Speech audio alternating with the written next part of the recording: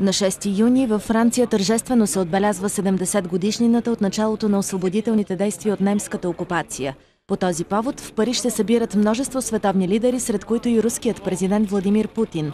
Визитата на Путин във Франция започна с срещи с френския президент Франсуа Оланд, британския премьер Дейвид Камерън и германският канцлер Ангела Меркел. Разговорът между Оланд и Путин продължи повече от час и половина и завърши с ръкостискане между двамата държавни глави. След това президентите не направиха никакви изявления, но се сбогуваха приятелски на варандата на Елисейския дворец.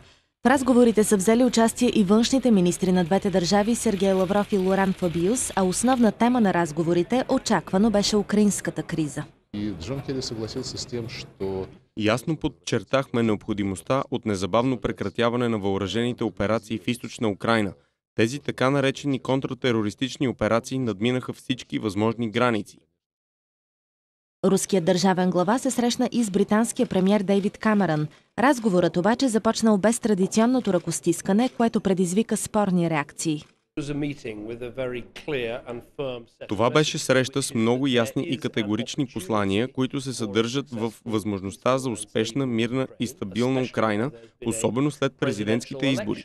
Статуквото е неприемливо и ситуацията търпи промяна. Руснаците трябва да признаят и да работят с новия президент. От своя страна новоизбраният украински президент Петро Порошенко заяви, че ще продължи операцията до пълното смазване на сепаратистите. На фона на дипломатическите усилия за изход от кризата, сраженията в източна Украина се възобновиха. Представители на местните власти обявиха, че са свалили още един хеликоптер на военно-въздушните сили край Славянск. Ожесточените боеве между украинската армия и проруските сепаратисти в района продължават от 3 юни. Според различни източници, през последните дни са загинали над 50 проруски сепаратисти.